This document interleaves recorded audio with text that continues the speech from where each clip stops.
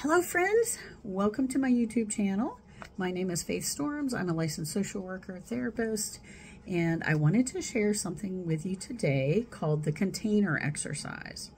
So this exercise is really good for if you have like issues or feelings that are intruding upon you, that are causing you distress, that are popping up at inappropriate times.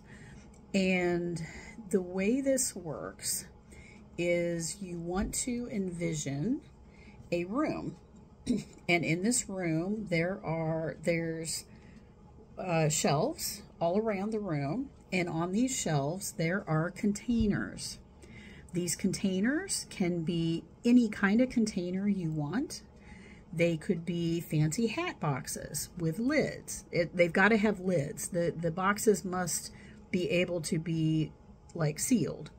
So they could be fancy hat boxes, they could be Tupperware containers, they could be um, they could be um, solid con solid containers like that you can't see through. They could be translucent containers. They could be like those space cap, not space capsules, time capsules. They could be, you know, like metal cylinders. It, anything as long as it's can screw together or have a lid on it and be, be sealed.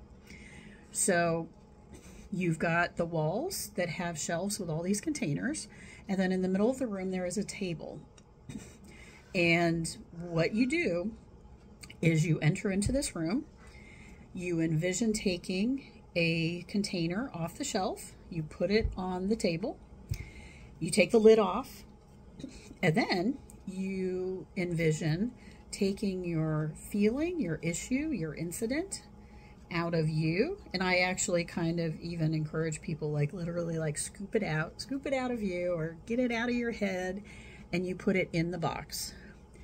In the box, in the box. All the feelings associated with it, all the body sensation, all the thoughts, all the images, everything about that experience or that situation or that issue. You put it in the box, put it in the box. when you feel like you've got it all in your box, then you take the lid to the box, put it on the box, or seal it up, or push it down, or screw it together, like whatever kind of box you're dealing with. You contain it. Once it's contained, then you take your now full box and you put it back on the shelf. And then you walk out of the room. So the intention is you're taking the thing that is troubling you, that is intruding, you consciously container it, and then you leave it there. And then you walk out back to your life.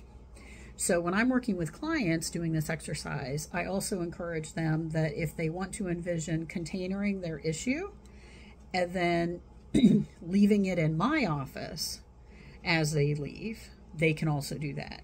Or if we're working virtually, they could they could energetically place it in my office or place it with me and then they go and then they leave their issue there. So when we container things, the intention is we are going to return to it. Containering is not the same as denial or repression or ignoring something. Actually, when we container it, we are saying this is really important. This is just not the time. And my thoughts and my feelings and my body reactions absolutely matter. And I just don't have the time, the energy, or the resources to deal with it right now. But I am going to deal with it. So, I hope that is helpful. I share that with a lot of my clients, and one of my clients shared it with a friend, and it really helped the friend. So I thought, oh gosh, I don't think I have this on my YouTube channel.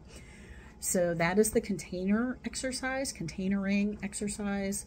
So try that out. And if you have any questions or need to, to reach me, please feel free to reach out.